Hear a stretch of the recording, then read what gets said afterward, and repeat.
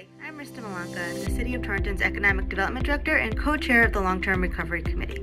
As you have probably heard, Congress has passed the American Rescue Plan Act that allocates funds to each municipality these funds are meant to help fight the COVID 19 pandemic as well as address the economic hardships that the pandemic has caused.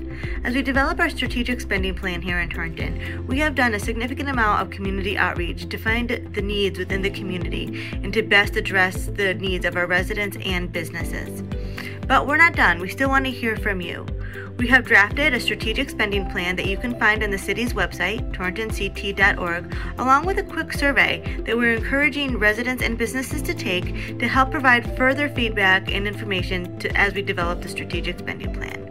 Please take a few minutes to visit torringtonct.org and the draft strategic plan on the news section of the city's website and take the quick survey. Thank you very much.